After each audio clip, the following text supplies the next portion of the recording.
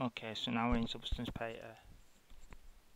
I'm sorry again for the sound, but I can't do anything about that because it's just the microphone quality. Right, but anyway, so now I'm going to build this texture map. Uh, I'm going to use the curvature map which we just built previously. If I just can get my bearings. think what I'm doing. Right. I've loaded the maps earlier so you can see. There, there weren't maps there where you can load it just in normal places base color roughness normal. So what we need to do is views. I'm going to texture set settings we're going to bake these mesh maps.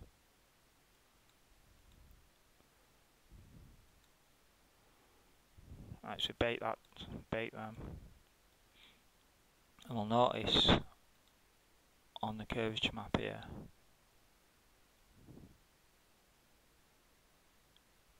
Can just find it.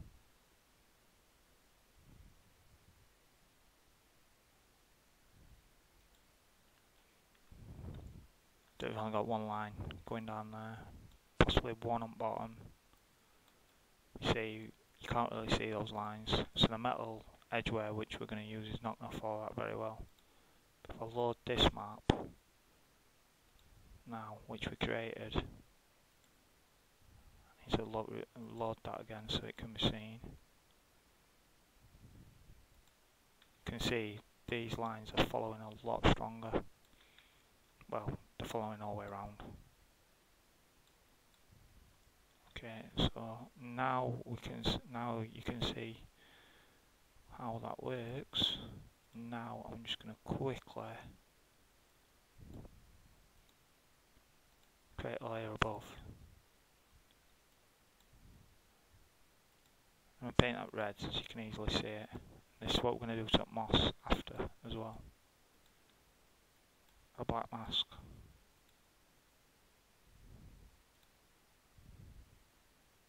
The generator. Metal edge wear. And we can see how that red line is now following the curvature map. See, see how it follows the curvature map. So that's what the metal edge wear does. And with that,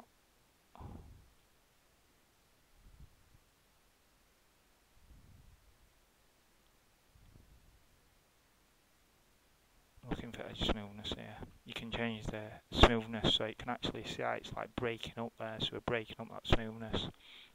That's why I mentioned you can have a thick or a thin line. So instead of using the red paint, I'm going to use the moss to do that. first I'm going to tile, tile these a little bit. So now you have now you understand how the curvature map works. Uh,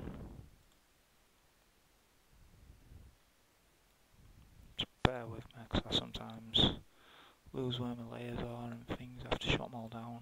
Uh, it's there. Just tile that a bit.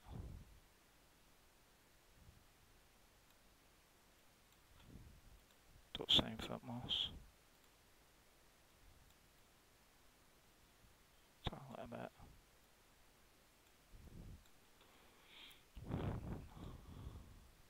Black mask. add a generator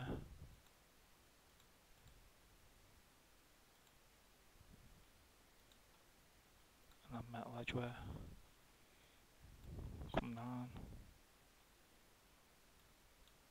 break that up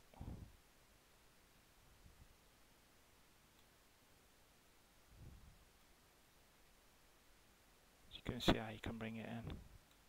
So you see how you're getting this moss look like it's growing up the sides and around the wall. Now what we can do, copy the brick wall above,